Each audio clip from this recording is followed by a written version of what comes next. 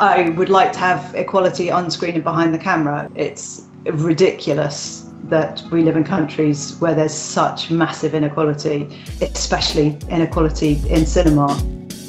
I'm Holly Tarquini and I'm the director of Bath Film Festival and I'm the founder of the F rating, which is awarded to all of the films which are directed by a woman and or written by a woman and or have significant women on screen in their own right. Are the women on screen there in their own right or are they only there because of the main male character. One argument was should Moana be F rated? Is the grandmother a significant enough figure in Moana?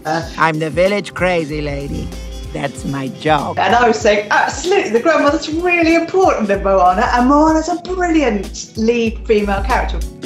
As a child, I watched a lot of film, and I always picked a character to be. I never had any options really of being the female character because I wasn't the least bit interested in being beautiful or being married or being a sidekick or not being the hero.